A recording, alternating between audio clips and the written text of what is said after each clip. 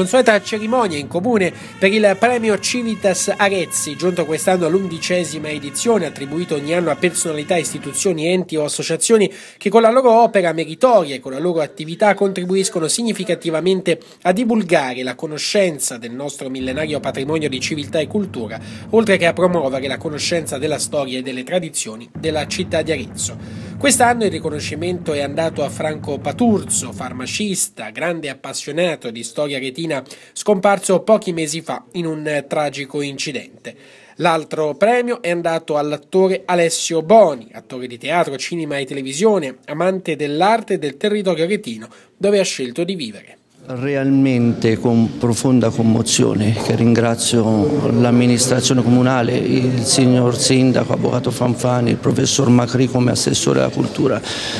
per aver ricordato Franco che ha dedicato la sua seppur breve vita allo studio della storia, delle tradizioni della città di Arezzo e del suo territorio. È per me un onore per mio fratello ricevere questo premio e spero realmente che il, il suo studio sia attraverso le trasmissioni, attraverso la divulgazione eh, sia riuscito ad avvicinare la popolazione di Arezzo, del,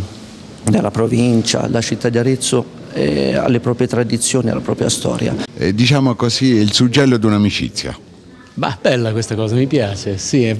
sono particolarmente lusingato di questo premio perché non è un premio, non so, come migliore interpretazione o che fai parte un, del miglior film, ma questo Civitas è proprio per qualcuno che si prodiga nella cultura, sperimenta, cerca. Io sono diventato direttore del, del Festival del Cinema Sociale l'anno scorso, mi interessa moltissimo l'arte contemporanea, mi è piaciuto moltissimo il percorso di Castica dell'anno scorso,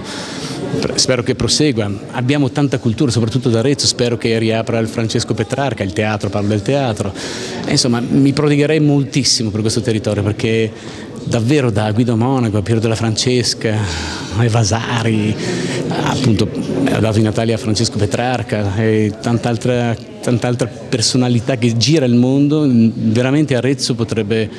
potrebbe fare tantissime differenze perché è una città piena d'arte e di cultura.